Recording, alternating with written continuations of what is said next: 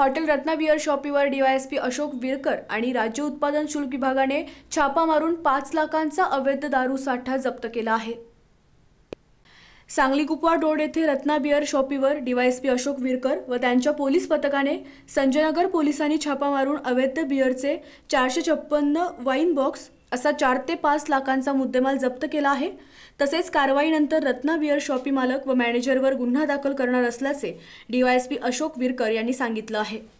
Beer शॉपीवर जो काही अवैधरित्या ठेवलेली दारूसाठा सापडलेला आहे. त्या अनुषंगाने जवळपास चार लाखांपेक्षा जास्त मुद्देमाल आपल्याला या ठिकाणी सापडलेला आहे याच्यामध्ये या ज्याच्या नावे लायसन आहे त्यांना सुद्धा मी याच्यामध्ये आरोपी करणार आहोत. आणि जे मॅनेजर आहेत त्यांना सुद्धा मी त्याच्यामध्ये आरोपी करणार आहोत.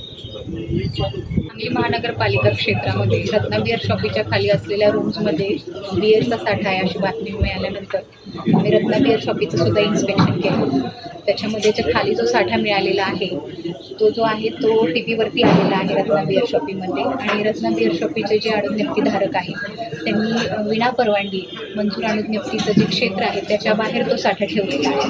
त्यामुळे त्यांच्या आडुज्ञप्तीवर नियमानुसार विभागीय विसंगती प्रकरण नोंद करून आम्ही बिअर शॉपी जागीच सील करणार आहोत. आणि त्यानुसार रत्ना बिअर शॉपीवर पुढील कारवाई करण्यात येईल.